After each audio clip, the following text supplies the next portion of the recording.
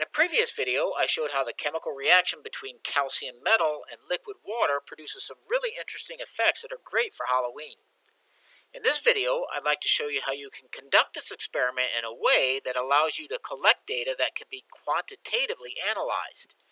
The experiment and analysis touches on many concepts in thermochemistry, including the heat equation, standard enthalpies of formation, and standard enthalpies of reaction.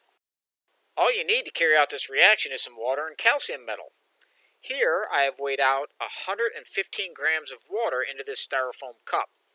You'll need to take the initial temperature of the water, which you'll note here is 20.3 degrees Celsius. Now I'm going to add 0.899 grams of calcium metal. The white color on this mostly gray colored metal tells me my calcium isn't entirely pure. However, it'll probably work fine for this simple experiment. The reaction takes a bit to get going. After a little while, you might notice some bubbles. That's hydrogen gas being produced.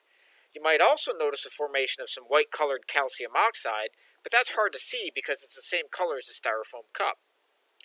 I'm going to cover the reaction mixture with this second styrofoam cup to try to trap all the energy being released in this reaction. It's exothermic, so it releases a good bit of energy. Let's see what happened to the temperature of the water. Hey look, it's gone up. That's because the reaction between calcium metal and water released energy into the water. It looks like the temperature rose all the way to 35 degrees Celsius.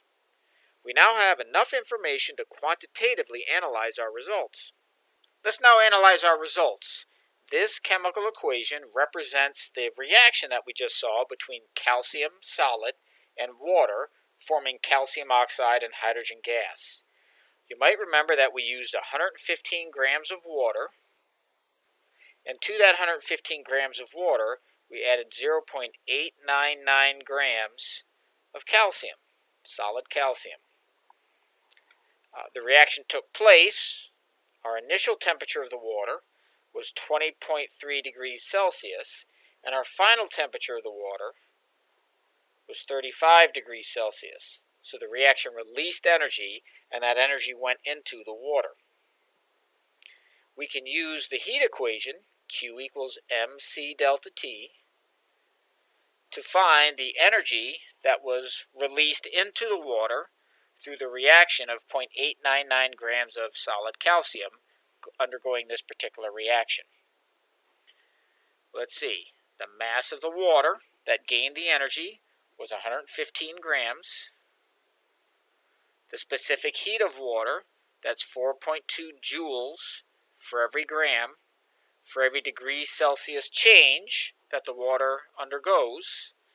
And then our change in temperature, that's going to be the final temperature minus the initial temperature, which is 35 degrees Celsius minus 20.3 degrees Celsius that's 14.7 degrees Celsius. So the energy gained is heat by the water. Let's see, the units there, this gram cancels this inverse gram when I multiply those together. This inverse degree Celsius cancels this degree Celsius when I multiply them together, and the unit that's left is a joule. Now we can do the numerical portion of the calculation. 115 times 4.2 times 14.7, 7100 joules. Now, we should recognize that that 7100 joules that was released into the water came from the reaction of 0.899 grams of calcium. So let's figure out how many joules per mole of calcium reacted this comes out to. So I'd take my 7,100 joules, and I'm going to divide that by 0.899 grams of calcium. Of course, there's 40.1 grams of calcium for every mole of calcium, and we can figure it out.